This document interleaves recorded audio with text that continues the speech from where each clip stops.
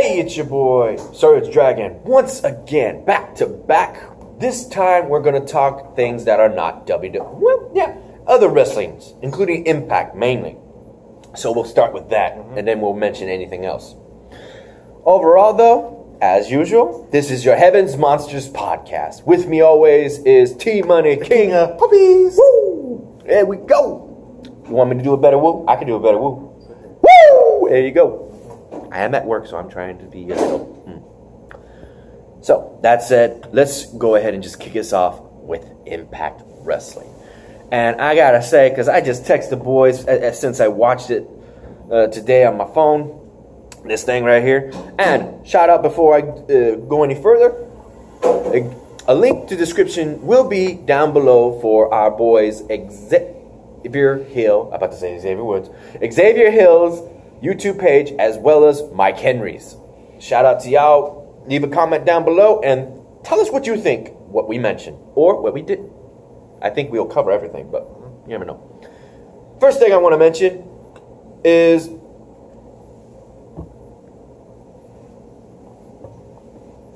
freaking Moose's shoes. What are those? They were sparkling like hell, man. Seriously, what were those?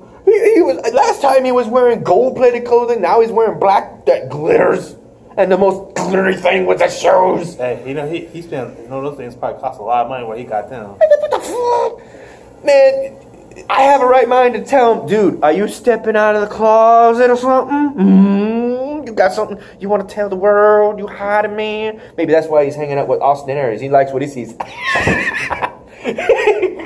He's trying to dress Am I crossing the line? I'm sorry, I couldn't help myself. he's dressing And wrestling name puns. he's dressing like a, like he's like a member of like kind of like Evolution or Fortune. Yeah, you wish. And eh, I didn't hear it last time, but now I did for sure. Instead of moose, everybody's saying douche, douche. Cam even said it, man. I agree with everybody. You should name your name from moose to douche. And Fallah Bahh, as a result of that argument, got a world title picture against Austin Aries. And everybody was patted on his back, including the unknown figures, apparently. That same people that run the show from behind the scenes and gave your girl the smoke show. Uh, All we see is one hand of them uh, doing this. Who the fuck are they? Who the fuck are they? Well, yo! Show your faces! We can't see you, literally! But otherwise, Fallah Bahh, I had to watch that match from beginning to end because Fallah Bahh really gave Austin Aries a run for his money. Mm-hmm. But after that power bomb from the top rope mm-hmm. and that freaking submission move of his, Yeah. he couldn't get out and he tapped out. Mm-hmm. Good on you, Fala. You pushed hard. Don't let anybody else tell you otherwise. Yeah. Otherwise, that saying, it was kind of. Uh, how the hell? I, I have to watch this. I have to look. To, go to my site because Impact Wrestling's One Night Only was dummy. Yeah, exclusive. What the hell? How come he gets his own one night stand special? What the fuck? Hey, he probably asked for it, so he felt like he wasn't doing nothing. It's funny how he's getting so damn popular with his dummy. Yeah, and everybody's saying yeah. Yeah. I'm not talking to you dummies. I'm talking to myself. Like what the remember, fuck? remember they gave him his own talk show. That's probably what it was. I have to see and see who showed up at one nights only. That's something too, because we saw freaking two arm man. We got we saw freaking Oh, yeah. what was his name? I already forgot his name. Uh, the guy who hangs out with Carmella. I forgot. Oh, he's about uh? He's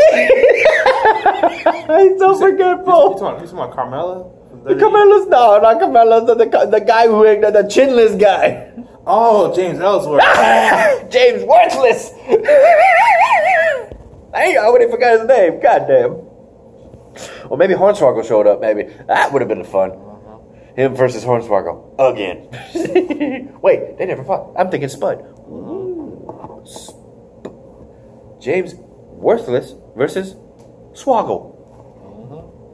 Mm-hmm. Color me interested. Oh, I like. I want everyone to know about this one. This is gonna. What's that? Because you don't know, y'all don't know this, but guess what? Who's interested in uh, Killer Kross? Oh, It is New Japan Wrestling is interested in New Killer Kross, and so is. WWE. oh shit. This just got real. but he's also in Lucha Underground, Yeah. but he has not made his wrestling debut Yeah. for the Rabbit They're, they're interesting because they're impressed with his uh his physique. His tattoos might be a different story though. So it's surprising no, to see they- WWE get them. Well, they're not tattoos, nothing to do with it. It's just like they like they like how he's built like a muscle dude. I've seen some of his tattoos, man. They don't look child friendly. That's what I'm saying. Yeah. I mean, Skull's like on uh, Undertaker has oh, and Randy Orton. yeah. his arm. But he's got some other stuff that's like, okay, what the fuck is this? But that considered, Moose, Austin Aries, and Killer Kross are a faction, but they don't have no name yet. Yeah. We'll have to see. They're like the bodyguards of Austin Aries because he's the world champion. His muscle. Yeah. That's the same Bodyguards, his muscle. Yeah, that's, both. They're- that's the same thing. Man. And with that, we got a six man tag team match coming at mm-hmm. Bound for Glory. Mm-hmm. Actually, two. But let me mention the one I want to talk about, and that's the Lucha Brothers Pentagon Junior Zero. Mue- wait, wait. Miedo. Me, me, zero, me, I'm trying to. Miedo. Fear. Zero fear. And his brother, Fenix. And being called out by OVE and Sam Ca- Sami Callihan. Uh, yeah, they're- they're- uh, he's part of OVV, so just call him this. Yeah, being called out OVE. Brian Cage, since he did help them out, he's being called out by that man, and he took down Kongo Kong. Even the uh, the announcer saying, "Damn near 400 pounds." I'm like, what? What? Yeah. Did he just serve? To, did he just serve to say that? Did he? that man is heavy as fuck. Gave Big da- uh, Daddy V a run for the money.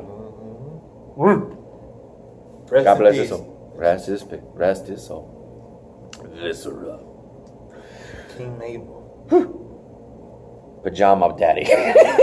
no, no, the the pajama plate, the love machine, the world's largest love machine. that should be Big Shot. But you know what Viscera stands? What it means? what? He says to Trish Stratus, it means without organs. I was thinking something more perverted. No, that's what it means. Vagina. Don't tell but anyway, that, no, I don't think his mother would name her child that though. I don't know about. Anyway, though, like said, it's going to be a six-man tag between the Lucha Brothers and Cage versus OVE, and it's going to be crazy. Have you seen that guy? What the hell? The guy who still got his hair in OVE is just running around, uh, just talking back there, ah, ah, and copying him. Maybe like, he's maybe he's told maybe uh, you trying to mimic him or something? That's what he's doing. Like, Oh, I want get your own material. I want y'all to know who who they, whose impact is interested in. What? Two let two legends Ooh. from the Attitude Era, Chris Jericho and the former WWE Women's Champion Jazz.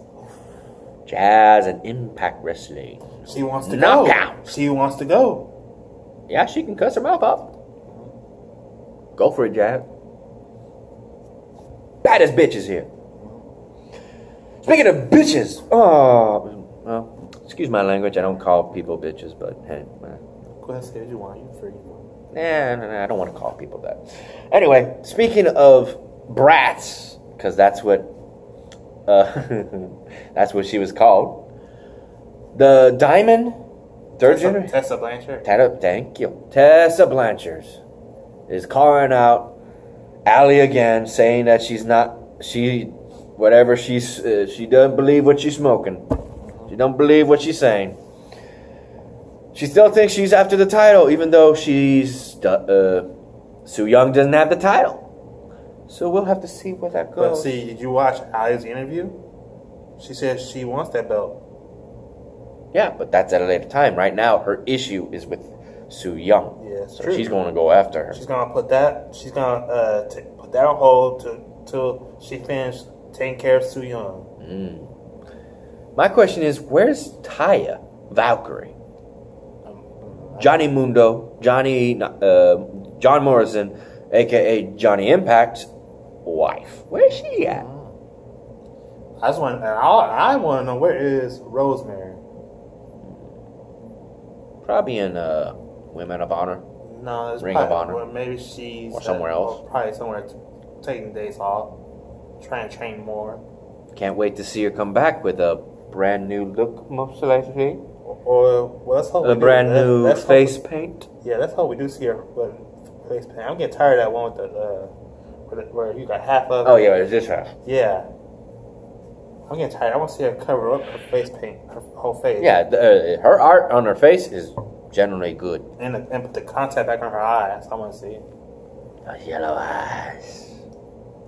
But otherwise considered also, we have the freaking tag team division of LAX versus DOG, and it is getting hot. It's supposed to be freaking ceasefire until October 14th. I'm getting tired of King stinging my nerves. And that's next month! Yeah. That's next month! What's four weeks mm-hmm. prior? So we gotta wait for Bound for Glory for this to settle, and you saw how that fight ended. The, the OGs came out and they're just poking the damn bear, mentioning that poor little boy who's still alive and he he, he wish he wasn't. Like you son of a bitch. I wouldn't, but I mean, shit, shit. Fuck you, King. Fuck you. Fuck you, punk ass. Motherfucker. Ugh, that's got it. So, let's cover it. Oh, I want to say World title picture, Austin. knockouts, tag team. There's no middle class, that's right. They took away the Middleweight. I mean middleweight. Yeah. Ooh, no. X division. But X Division like yeah, X, they, Division- t- they yeah the the, the Brian Cage is, is the freaking X division. Yeah, that's just like the cruiserweight belt. I don't understand why they give it a. a, I do because that match is crazy. no, I'm talking about. I just don't understand why they gave him the X Division title because he's not an X Division wrestler. He's a like, Yeah, he's not the first one either. Freaking Samoa Joe and, Yeah, and. Abyss. They, They got no, it. no, no, no, no, Smoke, no, No, Abyss was the uh, X Division champion. That, that, that's Kenny Legends champion, bro. No, no, he was the X Division. I watched. You know, you didn't. You weren't watching at the time, but he I was was. the X Division. Well, anyways, they both hated it. Abyss is one of those uh, heavyweights in the X Division championship list. He He was a champ. He was the X Division champ at one point. It was crazy.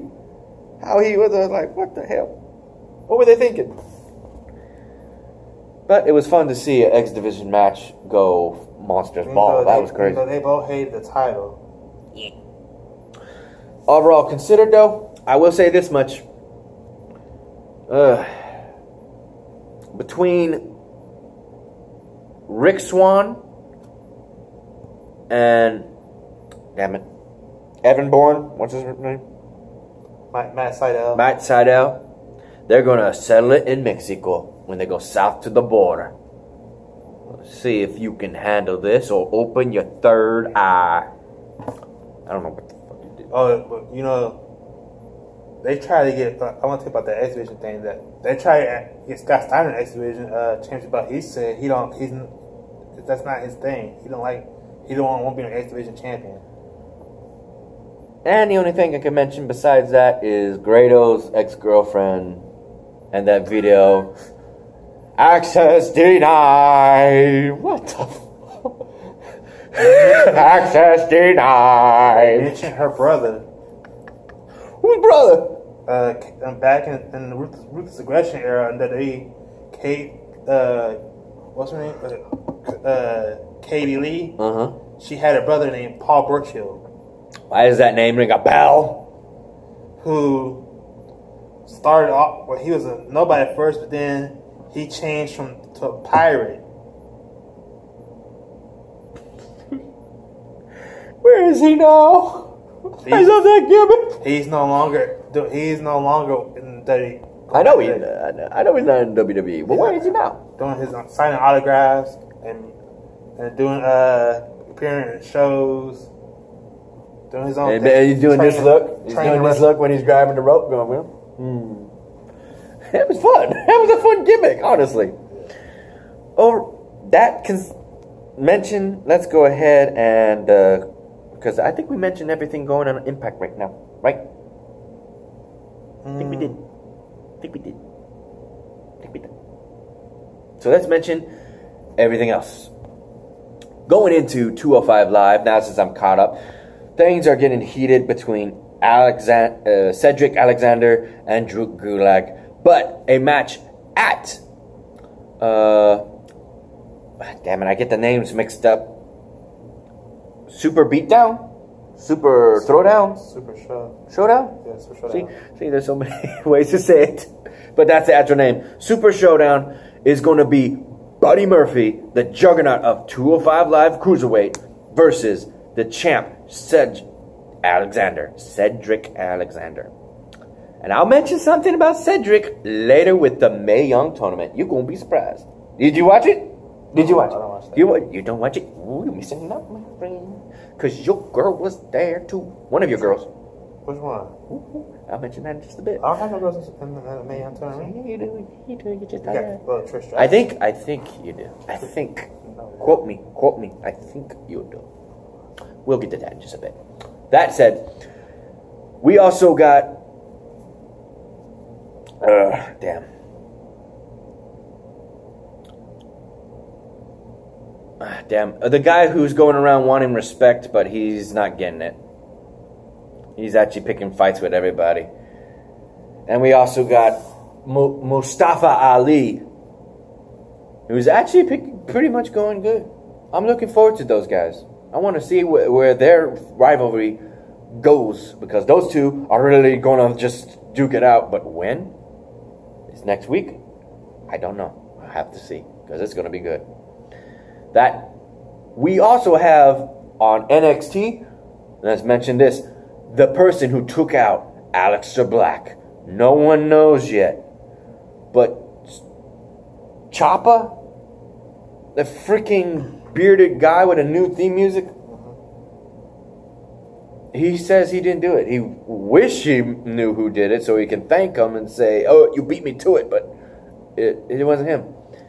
Uh, one more thing, I want to talk about that uh, the one one one thousand episode of SmackDown. There's one legend who's waiting for his invite, Batista. Ah, Craig! He quit on SmackDown, right? How do you do that? And plus, he when he came In back, a pink shirt when he came back, uh, What a white collar. four years ago. When he came back, four in a years- wheelchair. When he came back four years ago, Wear shades He and- quit again because he didn't like the way he was being treated. Whining like a little bitch. go ahead, go ahead. When he came back four years ago, he left again because he didn't like how he was being treated by WWE. Yep. Let's hope D- SmackDown says otherwise. Land of No, opportunity. it's because the money, and plus he wasn't getting what he wanted. A world title shot. Yeah. I'll say this much though. Ah, that's who's. Yeah, no, he wasn't in that match. He wasn't. A, I was about to say Lio Rush, but he didn't have a match last week. This week, surely. Otherwise, uh, I like saying otherwise, don't I? I'm noticing that. Moving on, uh, the match that actually ended NXT ended with a women's match. Nikki Cross versus I'm trying to remember that chick with the hair whip. But she's tall and she is saying that she's going to be the next number one contender for the NXT's women's champion. And she talk talk all she wants. She definitely has the resume and the skills to prove back that up. But with Nikki Cross, it ended in a uh, what do you call it? what happens when the match is called off? And no contest. No contest. Hold up. One second. Hey, our other coworker just left, and that, that said, we also got only 10 minutes left for this. So let me go ahead and speed things up. With everything c- considered, this is getting interesting with what's going on with NXT because this is everybody's wanting to pick a fight, including that big juggernaut man. Woo! What's his name? What's his name? Oh. Oh, damn. Me and my names. I'm still getting used to all these names. Including Gunner. Gunner's in, in, in the Forgotten Sons three man uh, group.